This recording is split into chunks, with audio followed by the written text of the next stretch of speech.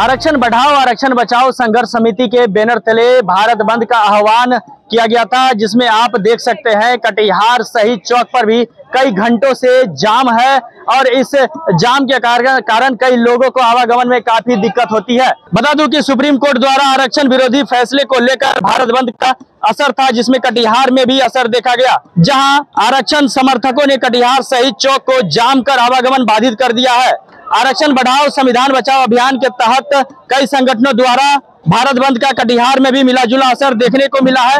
आइए दिखाते हैं पूरी खबर में, भीम आर्मी और अन्य संगठनों के जिला अध्यक्ष क्या कुछ कह रहे हैं। माननीय सुप्रीम कोर्ट के द्वारा 1 अगस्त 2024 को उनका जो है फैसला आता है कि एस सी में वर्गीकरण और क्रिमिनल लॉयर जो है लाया जाए। तो ये कहीं से भी उचित नहीं है। आज हमारा समाज 100 परसेंट में लगभग 6 परसेंट जो है प्रशासनिक पदाधिकारी में है। कुछ कहीं ना कहीं पदाधिकारी बने हुए मात्र 100 में 7 परसेंट। और इतना जल्दी वर्गीकरण करना और क्रिमिनल लॉयर करना आरक्षण में, ये कहीं से भी जो है, ये मतलब सही नहीं है।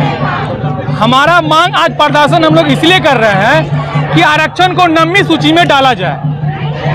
हमारा आरक्षण को नवी सूची में डाला जाए। जैसे ही हमारा आरक्षण नवी सूची में जाएगा, अदालत कहीं की भी हो, उस पर जो है पूर्ण विचार या फिर विचार, छेड़छाड़ आरक्षण से नहीं हो सकता, नहीं कर पाएँगे। इसलिए हम लोग का पूरा जो है समर्थन है इस चीज़ का कि नवी सूची में आरक्षण को डाला जाए। तो संविधान हमें अधिकार दिया।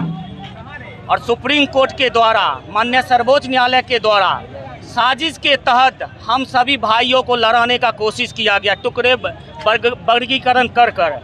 और मैं, हम लोग बर्दाश्त नहीं करेंगे। हम बाबा साहब अंबेडकर का जो है ना संतान है, हम अपने अधिकार के लिए ले, लेना जानते हैं, छीनना भी जानते हैं। आज हम लोग भारत बंद किए हैं। और क्यों किए हैं, इसका सबसे पहला लाइन ये है कि तुम्हारा क्या है, तुम्हें तो बस मुस्तकबिल बनाना है, लेकिन हमें, हमारे समाज को भी काबिल बनाना है।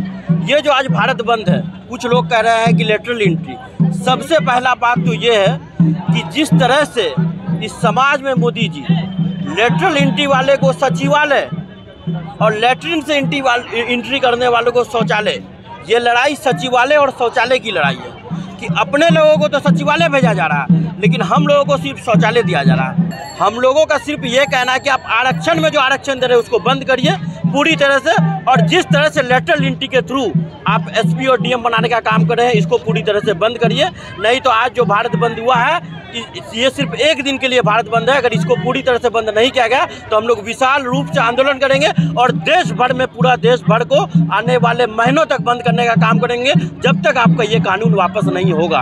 निश्चित, हम लोग राष्ट्रीय जनता दल परिवार इस बंदी के समर्थन में है और हम लोग जब तक नरेंद्र मोदी की सरकार आरक्षण में जो जिस तरह से चोट करने का काम दलितों, शोषितों को, वंचितों को, उनके अधिकार को छीनने का काम कर रही है, उसके खिलाफ हम लोग सड़कों पर हैं। हम लोग समर्थन कर रहे हैं कि आपके आरक्षण को नब्बे फ़ीसदी जो लोग हैं S C S T Dalit, पिछड़ी, ओबीसी माइनॉरिटी इनके जो नब्बे फ़ीसदी लोग हैं, उनके आरक्षण पर जो कुटाराघात किया जा रहा है, उसके खिलाफ हम लोग सड़कों पर हैं। हम इनको समर्थन देने के लिए आए हैं। कि ये दलित विरोधी सरकार केंद्र में चल रही है। नरेंद्र मोदी दलित विरोधी हैं। नरेंद्र मोदी चाहते हैं कि जो दलित को आरक्षण बाबा साहब भीमराव एम्बेडकर ने जो दिया है संविधान में, वो संविधान का पन्ना फाड़ फाड़ कर, फाड़ फाड़ कर संविधान में आरक्षण को खत्म करने का काम कर रहे हैं। इसी को लेकर आज कटिहार में चक्का जाम है और पूरे देश में जाम है। राष्ट्रीय जनता दल इसका पुरजोर समर्थन करती है। इसी को लेकर आज हम लोगों ने कटिहार को बंद करने का काम किया। Jaiprakash Bhagat Times News Katihar